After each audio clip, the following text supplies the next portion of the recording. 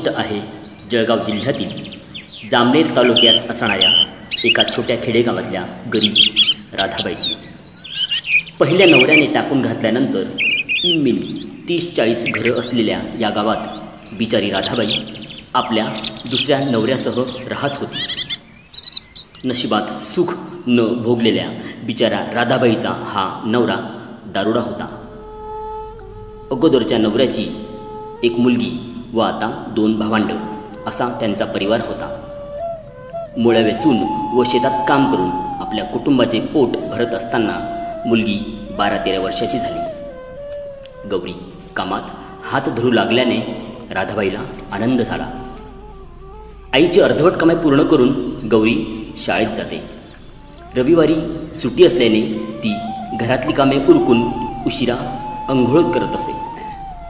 सगळं आनंदानं सुरू असताना अचानक काळाने काळजावर झडक घातलेल्या चिमुरड्या गौरीची ही कथा म्हणजेच.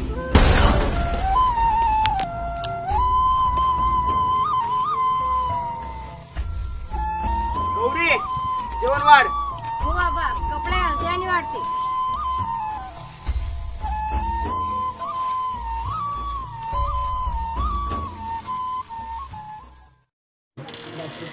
तुला आंघोळीला इतका उशीर का? याचे उरलेले काम मला करावं लागतात म्हणून उशीर झाला बाबा. हो माहितीये उरक.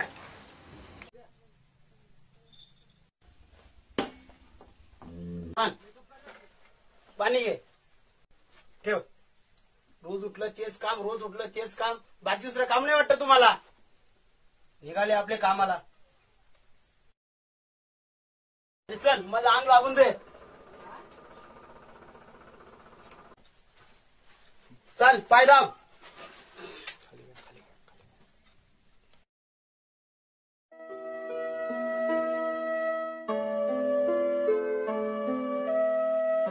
किती छान वाटते तू दाबतेस तर. हा असं वाटतंय. असा गारगार एकदम. निवांत वाटतंय शांत एकदम.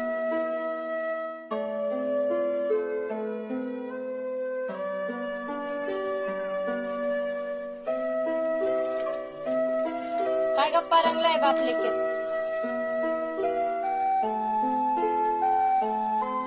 आई सुटा लागल्यानंतर मग शेतात निसतील ना ग.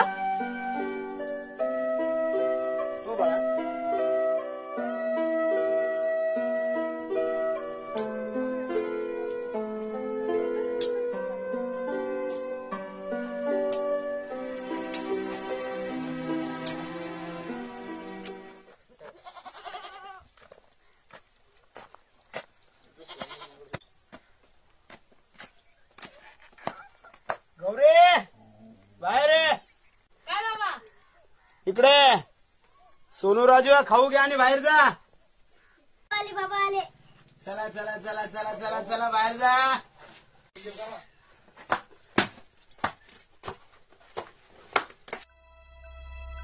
बाबा हे काय कर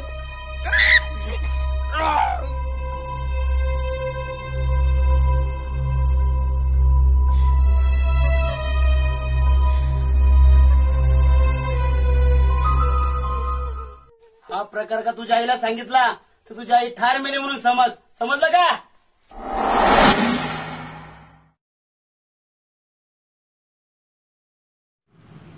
बिचारी गौरी दडपणात राहू लागली. सतत रडत होती. सावत्र बापाच्या कुकर्मामुळे तिचे पोट दुखू लागले होते. आईला झालेला प्रकार अनभिज्ञ असल्याने शिळं खाल्लं असेल असं म्हणून तिनं गौरीची समजूत घातली. गौरीच्या मनावर या गोष्टीचा विपरीत परिणाम होत होता. बारा तेरा वर्षाची चिमुकली कसं सहन करणार हे सगळं? एक दिवस तिनं रागाच्या भरात विष प्राशन करण्याचा प्रयत्न केला. पण तोही असं असफल काय ठरला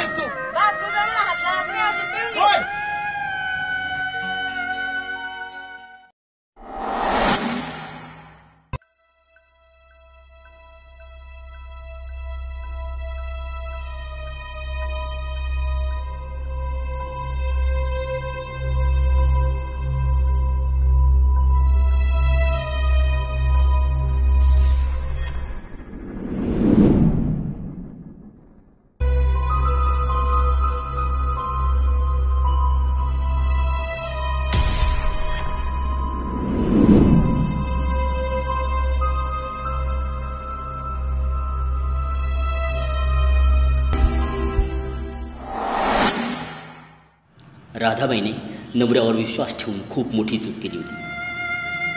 त्याच्या जाचाला कंटाळून तिने सकाळीच आपले गभाड उचलले व गौरीला घेऊन अनाथाश्रमात गेली.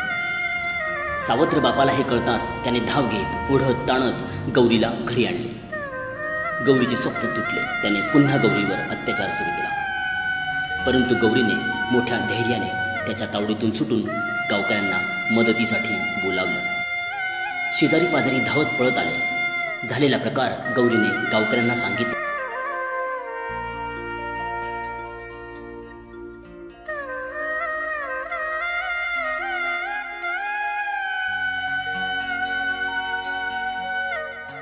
शेजारीच काबू करत असलेल्या राधाबाईला गोंधळ ऐकू आल्याने तिने मुळी खाली फेकून घराकडे धाव घेतली. गौरीला कुशीत घेतले. झालेला प्रकार तिच्या लक्षात येताच तिने राक्षसी प्रवृत्तीच्या नवऱ्याला घट्ट पकडले.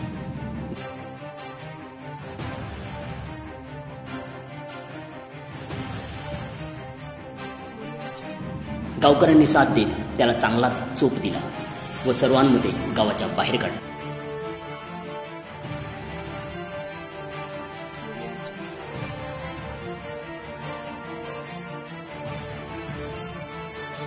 पुन्हा राधाबाई लेकरांसह राहू लागली.